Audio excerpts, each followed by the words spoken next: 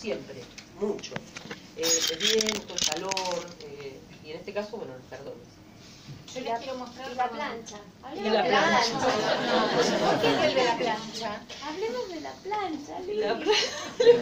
Bueno, Lili dijo algo en la, en la presentación de Córdoba, donde estuvimos con Micaela Verón, que es la hija de Marita Verón, nieta de Susana Trimarco, eh, y bueno, la verdad es que fue muy conmovedor encontrarse con ella, es una chica encantadora, eh, muy fuerte, muy, muy, muy, Muy alegre, sí, muy, llena de vida. Tiene 18 o 18. 19 años, es muy chica. eh, de- Ah, De la plancha. de la plancha. Eh, y vos, Lili, contaste qué patriarcal eras en una época. Que, que, bueno, digo, fue muy interesante porque alguien del público preguntó por la marcha Ni Una Menos y la cuestión de la violencia. Y entonces ellas dos eh, plantearon sus realidades o sus historias y qué diferentes eran, ¿no? Sí, Y cómo cambió la tuya en, en- en tus años de vida. en mis años de... Claro, porque digamos, Pensaba en la plancha como un, Sí, como un símbolo de un momento de la mujer, un momento Claro. doméstico, Sí. de, de mucha, mucho trabajo, de mucho esfuerzo. Sí, la plancha es como un símbolo como de la, de la nostalgia femenina. Mujer so- triste planchada, hay algo de tristeza en esa, en esa imagen. Eh, ahí se juntan dos cosas. Yo sí me, me recuerdo muchísimo eh, de, de yo así, chiquita, y mi abuela planchando, planchaba muy bien, y demoraba, y esa cosa que la dice en un momento de la novela, casi hipnótica que genera ver planchar. Si uno ve planchar, hay algo increíble, no se puede quedar viendo planchar. Yo me podía quedar horas viendo planchar a mi abuela, horas, horas. Eh, y, hay algo lindo en, ese recuerdo, ¿eh? No sé lo que era para ella, pero para mí era como muy mágico ver la plancha. Aparte, era como, eh, había pasado el fragor del día. Era la tarde y capaz ella miraba la novela y planchaba. Si yo la miraba a ella, ella miraba la novela. Y- y no era feo ese momento. Yo habría que haberle preguntado a mi abuela. Pero digo, yo, la- yo tenía hace ocho años, qué sé yo. Eh, entonces eh, está, está eso también con esa, como con esa pausa, ¿no? Eh, y, y bueno, y sí, lo que comentaba Laura, cuando este, una de las chicas preguntó, fue muy notable porque habíamos tres, ella contó que desde, desde que se recordaba, desde que se recordaba, tenía el tema del género así como muy presente, bueno, hablar de Micaela Verón, que lo dijo con una naturalidad, eh, no, era, no había nada que pensar, nada que pensar, no había nada que pensar. Y, y bueno, y el caso mío que fue, quizás, bueno, también, porque soy de otra generación, digamos, que fue una construcción que tuve que ir haciendo, digamos, a lo largo de mi vida, porque, porque la verdad que sí, la construcción de mi hogar, a pesar de ser un hogar progre y todo lo que ustedes quieran, pero era, eh, mi papá, pasame esto, anda, eh, chicas, vamos a levantar la mesa, y mis hermanos se quedaban, digo, eso pasa en cualquier casa y bueno, me crié con eso y, yo decía en Córdoba y varios se rieron, diga- digamos, eh, le- les habla la que escribió en la saga hombre de manera genérica. Vea, acá también se ríe. claro, yo digo hombre por decir este, especie humana, seres humanos, claro. Cosa que hoy, eh, aunque me costaría no hacer, porque literariamente hablando, créanme que es un desafío, la- el, el género le plantea un desafío grande a la lengua, pero grande, ¿eh? sobre todo a la hora de escribir literatura. ¿Qué hacemos con eso?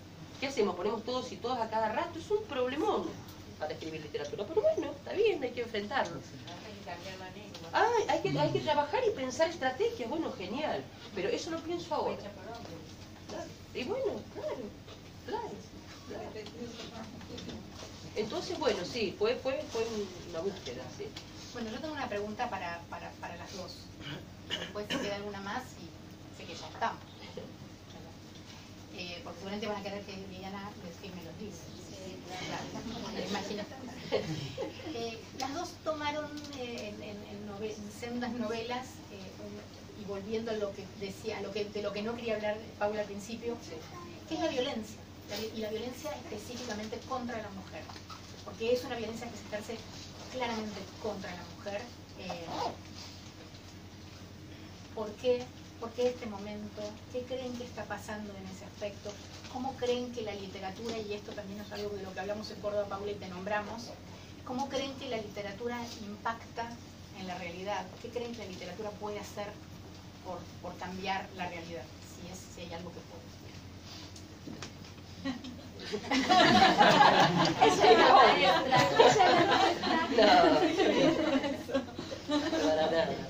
Yo te puedo contar así como resumen de estos dos años de La Chica Pájaro, aunque también en mis otras novelas está siempre, porque para mí de verdad eh, la violencia la respiramos y la vivimos y, hay que armarse desde otros lugares para poder realmente tomar una distancia, verla y señalarla eh, para, eh, desarmarla.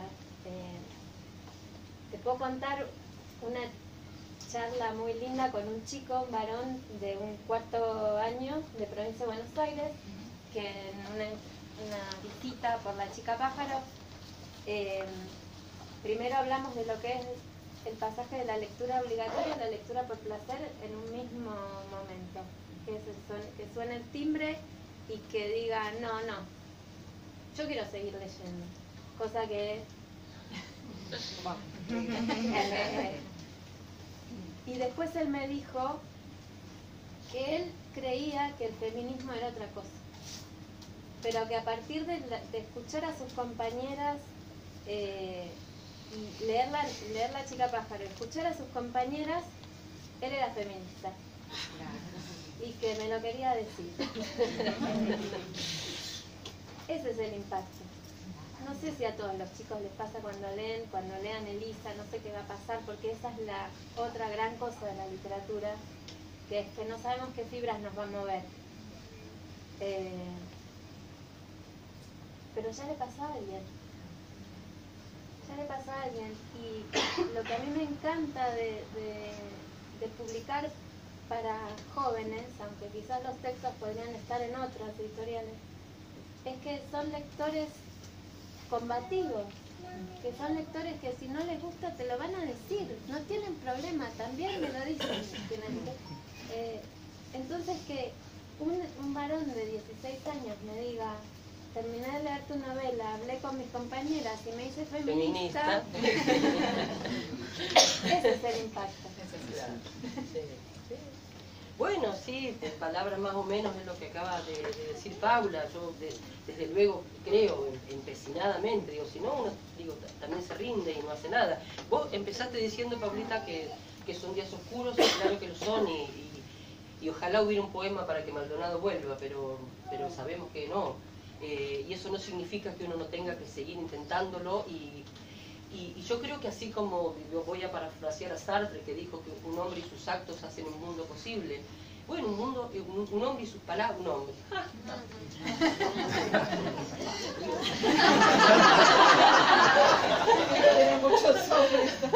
Ese fue Sartre, no yo. Pero claro. No, pero con nuestras palabras hacemos un mundo posible también. Y, yo creo que, sí, que, que, que- parar- porque hay que pelear el sistema con todas, con todas las armas que tenemos, con todas, con todas. Y, la palabra ni hablar, y el arte ni hablar, así que coincido plenamente con, con, Paula, claro, y seguro con ustedes, sí, la solidaridad también para pelear contra todo. Por supuesto. Sí, porque la falta de La ternura y ternura, la, la palabra, la palabra cargada de un sentido de ternura, digamos, la palabra acompañada de... Una palabra tierna, no pelear desde la agresión. Lo que pasa es que cada palabra puede estar silenciada, aunque dicha, aunque vos la digas, puede estar obturada, obturando. Un poco de por ahí va también ciertas cosas que dice el personaje Beatriz de la noche. Entonces no es solo hablar, Claro. es hablar con el cuerpo, es ponerlo todo, no poner la palabra que se supone que tenés que decir para generar un cambio. No, Se es, nota cuando dice no. Cuando no se pone el cuerpo se nota. Se nota. Como en este caso yo todavía no leí la novela, porque recién la compré, pero supongo que el personaje de Beatriz es, la que hace, eh, a lo mejor quiere y no sabe cómo, pero se le nota que no sabe que está desde otro lado. Sí. Me imagino, Sí, sí. Bueno, yo quiero, antes de que nos despidamos, eh, unas palabras más, eh, bueno, agradecer a toda la gente de la editorial, eh, que trabajó mucho para este proyecto. Hubo, hay un blog que pueden visitar, yo les recomiendo que lo lean junto con el libro, es el viaje de lilianabodoc.com.ar. Eh, y aquí está la bitácora de viaje y hay también un, apartado donde hay eh, un- unos textos que nos envió la Fundación María de los Ángeles que hablan de prevención de la trata de personas.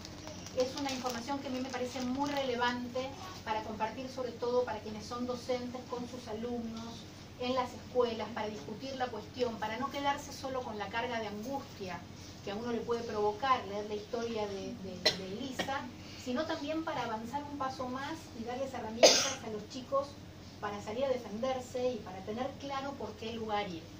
Pero además lo, lo que ese blog tiene más allá de esa información es la delicia de las reflexiones de Liliana mientras va escribiendo, mientras va viajando, textos reescritos muchas veces, es como un taller.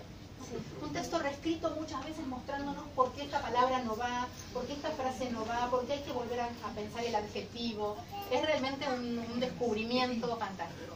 Y también quiero agradecerle a Valeria este, Bisuti, que es la directora de arte de la editorial, que hizo una edición tan hermosa de que se pueden desprender las solapas y usarlas para regalar, para mandarlas o para marcar las páginas. Así es, así Yo, es. yo recorté todo. Paula es, una- es nuestra usuaria ideal. Me están señalando. Están señalando. Bueno, al equipo de prensa, al equipo de marketing, al, al equipo comercial, eh, bueno, y, y a, y a Cúspide que nos prestó este lugar tan precioso y a todos ustedes por, por venir. Gracias.